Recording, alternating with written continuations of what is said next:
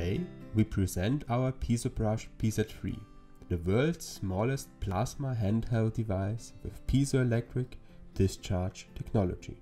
Everything you need for simple and effective surface treatment with cold atmospheric pressure plasma generated by the PiezoBrush PZ3 is available in the carrying case. For flexible use of the device all over the world, various adapters for the plug-in power supply are included in the case.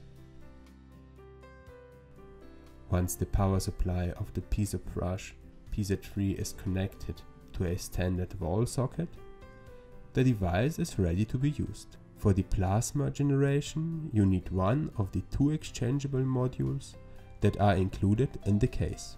The module standard is used for the treatment of non-conductive substrates and the module near field for conductive substrates. We start with the module standard. Inserting the module is simple and does not require any tools. During operation, the display shows process parameters and device information. An exemplary application is the plasma treatment of the plastic ABS to increase the surface energy and thus the wettability. To illustrate the difference, only one half of the sample is pre-treated with plasma. A treatment of a few seconds is sufficient. The before and after comparison clearly shows that the wettability has been increased significantly. Another test is carried out on polyethylene.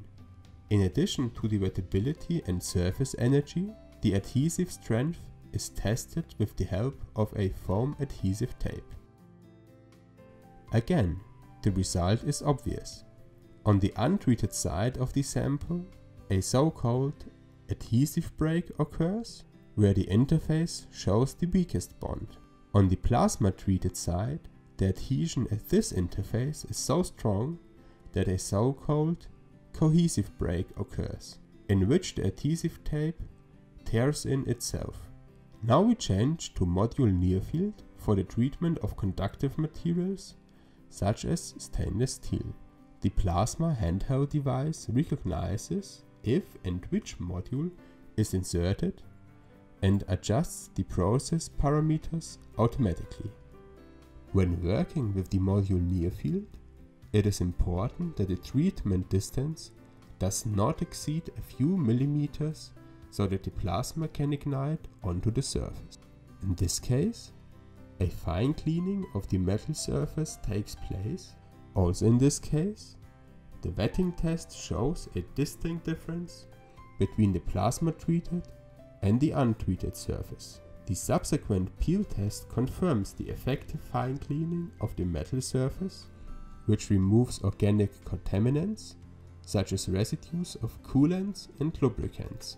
These are not visible to the human eye, but form a separating layer on the surface and thus endanger the quality of adhesive processes. The PiezoBrush PZ3 gives you all the benefits of a cold atmospheric plasma treatment in a simple, efficient and cost-effective way.